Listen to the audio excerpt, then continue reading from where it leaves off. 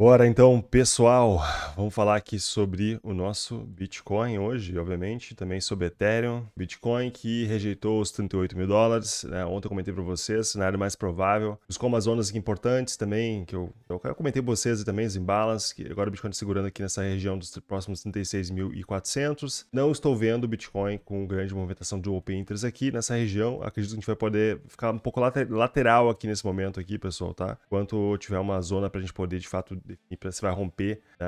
Mas quase tivemos um golfo aqui também, nessa região, aqui no, no, olhando o gráfico diário. E a dominância também do Bitcoin, que está buscando aqui, potencialmente fazendo esse fundo aqui, retração do topo anterior. Né? O que isso pode significar também para o Ethereum, o Ethereum que tá aqui agora brigando no fundinho, o Ethereum BTC, ah, e também na região aqui próxima dos 1.950 dólares por unidade. Será que a gente vai então de fato voltar a testar que essa região próxima dos 1.800 ou o Ethereum a partir daqui vai voltar a subir e buscar lá a região próxima dos 2.200 dólares por unidade? Hoje tem questão de ETF, tem várias coisas saindo aí, pessoal, tá? Vamos dar uma olhada aí, caras, não se esqueçam, antes de mais nada, vai aqui embaixo do vídeo, aperta esse botãozinho do like que é extremamente importante para apoiar o canal. Não deixe de compartilhar, ativar as notificações, se inscrever no canal para você não perder nenhuma análise e update do mercado, beleza? Então vamos lá, caras. O que a gente tem para falar? Bom, começando aqui pelo TF, caras. A gente tem hoje dia 17 aí, parece que tem mais delays, eh, atrasos em relação ao ETF, mas o prazo mesmo aí é janeiro, tá? Janeiro que é realmente prazo, então pode ser que saia alguma notícia hoje do ETF aí, fiquem de olho no Twitter, tá? Twitter geralmente as coisas saem, saem antes. Estou pesquisando aqui inclusive ETF Bitcoin. Não tem nada de muito importante, mas é, é sim é importante vocês acompanharem as principais notícias. Eu não vou operar a notícia, né, de fato. Ah, estou montando minha posição vendida no Bitcoin, né? Estou com a posição montada aí, já mostrei para vocês a minha estratégia, como eu faço. Bitcoin, não, ele não conseguiu romper aqui a região dos 38 mil dólares. Comentei para vocês que é um ponto que ele poderia buscar a liquidez aqui. É, foi o que ele fez. A gente teve um grande aumento open interest aqui nessa região, daí teve essa porrada para baixo, pegou liquidez, voltou aqui nessas zonas de imbalance. É tudo isso que eu falando para vocês aqui, pessoal, porque muita gente não entende é o gráfico do Bitcoin. Por que, que ele faz esses candles assim maluco? Sobe, desce aqui, sobe. Se o cara olha o diário aqui, não tem como você imaginar. Né? Por isso que eu não fico olhando tempos gráficos assim, assim muito grandes, porque eu quero operar no intradiário ali, né? Quero operar no 4 horas, numa hora, sabe? Se você ficar olhando o gráfico diário aqui, você vai ficar, pô, não sei para onde vai o Bitcoin, né? Onde que vai o Bitcoin? Então você tem que começar a baixar tempo gráfico e analisar o que, que, os, que, que os players, o que, que as pessoas estão fazendo no mercado, como eles estão se posicionando, é, onde tem as zonas que estão tem resistência, tem suporte, gente presa. Então por isso não fico quebrando muita cabeça aqui no diário, no semanal, etc. Tá? É, não fico olhando tempos gráficos tão grandes assim. Foco mais o 4 horas, numa hora. E até alguns pontos, alguns trades, eu chego a entrar nos 5 minutos, até no 1 minuto, tá? Para poder ver o que o pessoal tá fazendo. Então é, é assim que a forma, a forma que eu gosto de operar, pelo menos. Tá? Não vou simplesmente ficar esperando o Bitcoin. Imagina ficar esperando o Bitcoin aqui, ah, Fibonacci, olha só, Fibonacci, vou aqui, ah, não vou shortar o Bitcoin, vou ficar aqui agora esperando ele para ver uma correção, tá? Ah, para fazer isso, você pode fazer, mas assim, eu não, eu não, eu preciso quero ganhar dinheiro, entendeu? Eu quero ganhar dinheiro e não vou ficar esperando por essa correção para fazer uma compra aqui, que pode ser que nem aconteça, né? Pode ser que essa compra Bitcoin volte aqui nessa região, ó. Simplesmente eu vejo, opa, não tá legal de comprar. Né? O Open subindo na queda. Eu vejo, pô, não vou comprar, e aí, sabe? Ele perdi o short também ali. Então, assim, eu tenho que, eu tenho que olhar nos tempos gráficos menores, ver como o pessoal está se comportando, conseguir montar uma posição livre de riscos. Então, meu plano para o Bitcoin agora, nesse momento, é manter esse short aberto, tá? que está bem aberto agora aqui na região dos 38 mil dólares. Fiz uma parcial lá nos 36,400. Então, tá tudo documentado aqui no YouTube, tá? Não estou inventando para vocês. Vocês pegarem os vídeos aqui no YouTube e verem o que eu estou fazendo, vocês vão ver o que, que eu estou montando, como é que eu estou montando essa posição. Abro aqui, reduzo aqui, reabro ali. Então, vou montando, tirando lucro, deixando a posição que se eu pegar meu stop ali, eu vou sair no lucro no stop. Então, é essa é a minha estratégia de operar o Bitcoin. É assim que você tem que fazer. É, se você quiser, inclusive, entrar no long também, acho que é importante você fazer pro outro lado também. Você quer montar uma posição de compra. Tente fazer uma, um gerenciamento de risco, fazer uma parcial né, para você poder tirar um lucro. Se o preço voltar, você recompra, entende? mantém seu, reajusta o stop, assim como fazendo para poder montar essas posições. Primeiramente, o objetivo como trader é não perder dinheiro. Então você não pode simplesmente agora abrir um short aqui. Ah, o André está shortando. Eu vou abrir um short agora nessa região aqui. Se o André está shortando, eu vou shortar também. Não. O André está shortando porque ele, ele tá já com uma, uma, uma, posição livre de riscos, entendeu? Já tô com a posição, tá com, tô com, com, com o short aberto, com livre de riscos, entendeu? Se o Bitcoin for 68 mil dólares, eu não vou perder dinheiro, entendeu? Então aqui nessa região, eu comentei para vocês que aqui tá perigoso, né? O Bitcoin, ele tava com o Pinter subindo aqui nessa região dos 36 mil dólares, muito forte. Eu falei para vocês, bem provável do Bitcoin pegar essa liquidez aqui em cima. Tinha uma liquidez aqui em cima, do pessoal estopa, estopando, né? Então o pessoal achou que o Bitcoin ia fazer isso aqui, ó. Né? Muita gente achou que ia fazer isso aqui. E não, não foi o que aconteceu. que é mais provável, na minha análise, é de buscar os 38 mil dólares, não tinha liquidez. Agora, aqui nessa região, ó, aqui a gente teve uma grande subida do Open Interest, olha só. Tanto que chega nessa zona aqui, próximo dos 38 mil dólares, se você baixar o tempo gráfico, vocês vão ver que nessa zona aqui a gente tem uma porrada do Open Interest aqui, queda, ou seja, o pessoal estopou e liquidou aqui. Ó. Então, aqui, ó, agora aqui, pessoal, nessa região, o que me importa agora aqui é, é, é isso aqui, ó. Duas coisas me importam no curto prazo Bitcoin. Essa queda, teve queda do Open Interest, tivemos. Não caiu muito assim, né? Caiu tanto assim o Open Interest. E aqui nessa zona aqui, pessoal, só nessa subidinha aqui, a gente não teve subida do Open Interest. Nessa subida do preço aqui, ó, não teve subida do Open Interest. Aliás, o Open Interest caiu. Então, não, agora não está me parecendo que o Bitcoin vai fazer isso aqui, ó. Não parece para mim. Não parece que vai fazer isso. Mais provável, na minha opinião, é o Bitcoin fazer isso aqui, ó. Romper esse fundo aqui, tá? É o que está aparecendo para mim agora a curto prazo, tá bom? Então, por isso, estou tranquilo aqui agora. Me parece que Bitcoin vai sim uh, testar aqui a região dos 34 mil dólares de novo, né? testar esse, esse, esse, esse, esse volumezinho aqui. E é uma zona importante. E se o Bitcoin perder, pessoal, 34 mil dólares aqui, a gente vai lá para a região dos provavelmente 63 a gente tem liquidez, tá? Então, por enquanto, na minha opinião, não me parece que o Bitcoin está botando, adicionando liquidez acima nessa zona aqui agora. O pessoal não está é, tentando abrir posições aqui. E eu sei que fica confuso, muitos players, muita gente fica de fora do mercado. O cara não quer abrir posição, porque, porra, dá pra saber, né? Sobe, sobe aqui, desce, o cara que não consegue ver os indicadores que estão mostrando pra vocês não entende o que está acontecendo. Vocês conseguem entender porque vocês estão vendo aqui no dia a dia. Né? Falei pra vocês por que subir, né? E por que que essa região aqui dos 30, por que tinha a, parcial nessa região dos 36,400, né? Também tinha imbalance aqui, essas imbalances aqui importantíssimas do Bitcoin aqui de uma hora balance de compra aqui embaixo. Isso aqui atrai o preço também, tá? Então tinha balance de venda em cima e balance de compra embaixo. Ele vai lá, pegou a liquidez, devolveu aqui, pegou esses imbalances de compra aqui. São as melhores zonas para comprar, né? Não formou um imbalance acima. Então, esses indicadores que eu estou usando para vocês é para vocês conseguirem operar no intradiário, né? conseguir montar as posições de forma mais uh, com um pouco mais de confiança, tá bom? É por isso que eu mostro aqui para vocês, tá? Não é porque, ah, é por em ação, não sei, não. Porque eu consigo montar posições aqui no, no intraday né, do Bitcoin sem ficar quebrando a cabeça. Então, olha só, também aqui nessa subidinha, pessoal, a gente não teve o Open Interest subindo aqui, ó. Essa, nessa subidinha do preço aqui, não tivemos, não tivemos aumento Open Interest aqui, ó, tá vendo? Então, não me parece que o Bitcoin agora vai buscar, vai subir aqui e fazer isso aqui, ó. Tá? Não está me parecendo isso. Mais provável o Bitcoin fazer isso aqui, ou ficar lateralizando aqui assim, testar, o 64 de novo, né? É o que está me parecendo aqui, pessoal. Eu poderia ver que isso aí talvez formar aqui um padrãozinho de é um cabeceombro, não sei. Mas está me parecendo mais provável do Bitcoin fazer esse tipo de movimento aqui agora, nesse momento. Tá? Os 34 mil dólares são a zona, a zona importante que a gente tem, porque é uma zona que tem volume, a gente pode ver um grande volume aqui nessa região. Tá? É uma zona que também tem open interest nessas regiões. O Bitcoin começar a perder os 34 mil dólares vai ser dramático. Essa zona aqui, que se o Bitcoin começar a perder aqui, pessoal, tá 34 mil dólares, até aqui, ó. Tá? Perdeu essas regiões de 34, na minha opinião, pode ter certeza aqui que a coisa vai ficar bem dramática. Tá? Essa zona aqui é a zona de suporte importante. Ó, essa zona aqui de 34, olha só como tem open interest aqui, ó. Como tem bastante open interest.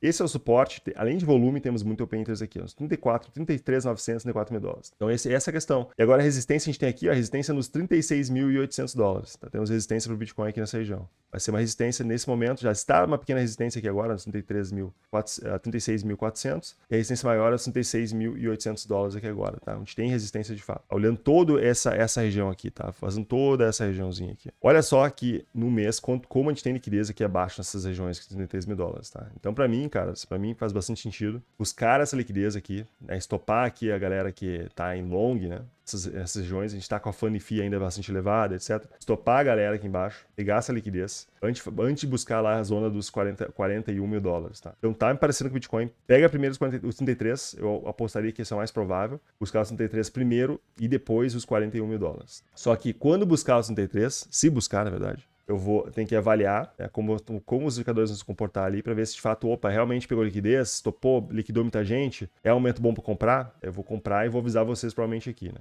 Essa liquidez aqui, ó, na minha opinião, foi buscada, já, né, já teve a chance de pegar lá em cima. Acho que agora já era aqui, tá, pessoal? Não tô acreditando muito que o Bitcoin vai buscar. Mais provável é que essa região aqui dos 34,700 até a região aqui dos 33,500 por aqui. Dominância que tá aqui agora testando, então, esse topinho anterior. O Bitcoin tá a dominância subindo aqui agora, né? Então, testando esse topinho anterior aqui de 52%, né? agora aqui está querendo voltar a subir a dominância. Então, é importante acompanhar aqui, obviamente, uh, nesse fundinho que ela está fazendo aqui, parece um fundinho nessa região, se ela vai conseguir manter, romper aqui essa região de 68 aqui. Né? Se ela romper aqui vai ser bem importante, vai ser bullish, na verdade, para o Bitcoin. Se ela fizer aqui uma, um, esse movimento aqui, pessoal, subir um pouquinho aqui e cair, tá? realmente vai ser bem positivo para as altcoins, tá bom? E para o Ethereum também. Tá? Eu estou acreditando que é bem mais provável que a dominância ela caia, tá, pessoal? Eu acho que a dominância vai cair, é o que eu estou imaginando aqui agora, porque o Ethereum BTC, na minha opinião, aqui tá aqui, ó, só, fez uma tentativa de rompimento aqui, não conseguiu, Né? Então ele corrigiu aquelas regiões que são fundos anteriores importantes, fez a tentativa de rompimento aqui desse, desses últimos fundos, não conseguiu corrigindo. Acho mais provável que o Ethereum fazer mais uma tentativa e romper, tá? Eu acho que o Ethereum vai performar melhor que o Bitcoin no curto prazo. A dominância poderia corrigir aí, né? Eu imagino. Eu por isso estou no long aí do, do, do Ethereum, tá, pessoal? Estou montando posições de compra no Ethereum, aí, né? porque acho que ele vai performar, performar melhor que o Bitcoin. Então, se o Bitcoin corrigir muito, acredito que o Ethereum vai cair, corrigir menos, entendeu? Então, por isso, por isso é interessante você montar uma posição vendida no que está mais, mais baixista, né? O Bitcoin, ao meu ver, e o Ethereum está mais bullish, mais altista. Então eu prefiro montar posições de compra no Ethereum é, e posições de venda no Bitcoin. E por enquanto tem, tem dado muito bem aí para mim, tá? Porque o Ethereum tem, tem corrigido menos que o Bitcoin. Né? Se você operar em pares, você vai ter sempre resguardado aí, né? Porque se o, se, o mercado subir, provavelmente o meu long no Bitcoin vai ir tão bem Uh, meu short, desculpa, meu short Bitcoin não vai ir tão, não vai tão mal, desculpa. É, e o long do Ethereum vai muito bem, então, porque o Ethereum está bullish. Então aqui o Ethereum BTC está testando esses fundinhos aqui, né? Testou esses fundinhos aqui que ele é passado aqui, tá, o gráfico não está carregando, não sei porquê, mas aqui tem, aqui tem, aqui tem uma região também, ó. Mas, uh, por isso eu estou fazendo long no Ethereum, mas, pessoal, é importante deixar claro que é um long de curto prazo, tá? Então já comentei para vocês anteriormente que isso aqui, para mim, parece ser um topinho duplo que está formando, Ethereum BTC. Eu acho que o Ethereum vai durante esse bear market aí, e um ano após a halving do Bitcoin, vai ainda performar muito mal, tá? Então, tome cuidado se essa carteira tá recheada de Ethereum aí, tá? O Ethereum aqui agora, nessa zona aqui tem bastante, ó, volume, essas regiões aqui, ó, que ele subiu, volume e Open Interest. Se pegarem o Open Interest do Ethereum, vocês vão ver que o, o, preço subiu com o Open Interest subindo junto, tá? Ele tá bullish. A gente tem o Open Interest subindo muito forte. Não foi só até uma parte, ele subiu todo o movimento, o Open Interest subiu forte. Então, para mim, isso é bastante bullish pro Ethereum. Acho mais provável o Ethereum, de fato, aqui segurar, né? Não, não romper esses fundos aqui, ó, os 1.800 tá? E buscar lá a região dos 2.000 e 2.250 por unidade, tá bom? Para mim é claro aqui, tá?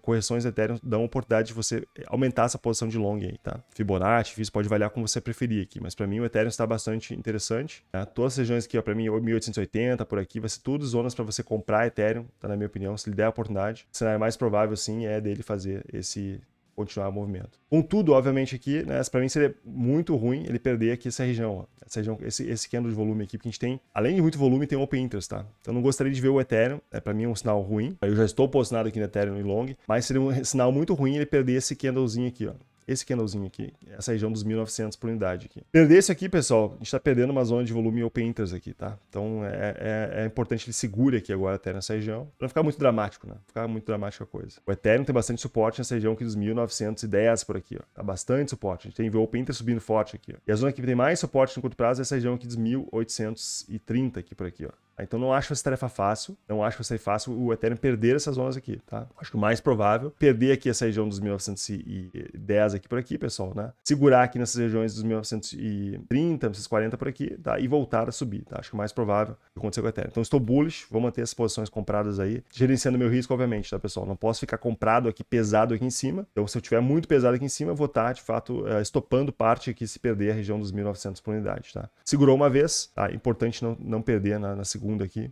Então, nessa forma que eu estou gerenciando esse long aqui no Ethereum nesse momento. É, tem uma certa liquidez aqui, 1860, 1850, realmente. É. é a zona que tem liquidez tem o suporte do Open Interest também, né? Então, realmente, se o Ethereum perder força, que perder os 1900, 1900, 1900 por unidade, vai lá para as 1960 por aqui, a gente tem liquidez, tá? Daí eu diria pessoal, que se você quiser estopar o Ethereum de fato, né, uma compra aí, o Ethereum que teria que botar o stop, na minha opinião, abaixo dessas regiões aqui, tá? Poderia ser uma compra nessas regiões 1960 por aqui, o stop embaixo dessas zonas aqui, zonas aqui de, de do, do, Smart Money aqui, zonas de demanda aqui, né? São duas zonas de demanda em 4 horas, essa região dos 1900, uh, 1900 aqui até a região dos 1980, e depois lá na região dos 1800 até a região dos 1700 1960. Então a gente tem uma liquidez aqui nessa região dos 1840 mais ou menos, junto com zonas de open interest para Ethereum, tá? Então realmente que seria uma zona que, na minha opinião, o Ethereum não poderia perder essa aqui. Então a melhor compra que eu vejo para Ethereum aqui nesse momento seria essa região próxima dos 1860, realmente. Porque aqui, ó, o grande aumento de open interest aqui e muita liquidez no high block também, tá? Então, resumindo aqui, é, poderia pegar essa liquidez mais aqui embaixo, mas tem zonas de open interest, não pode perder. Né? Se perder aqui essas zonas aqui, que eu mostrei para vocês, ó, começar a perder aqui para mim, fica dramático, tá? Se perder os 1800 por unidade o Ethereum, eu acho que é dramático aqui, tá? Então é isso, pessoal. Se você gostou aqui da análise do, de hoje, não esquece de apertar esse botãozinho do like, que é muito importante mesmo ativar as notificações para você não perder nenhuma análise aqui do canal. E a gente se vê então na próxima. Desejo vocês aí uma boa sexta-feira né? e um bom início de final de semana. Mas dependendo da movimentação do preço, eu volto aqui, tá? Vou estar nesse momento aqui com chuva. Vou ter que fazer, vou ficar de olho no mercado aqui então. Beleza? Um abraço a vocês até a próxima aí. Tchau, tchau.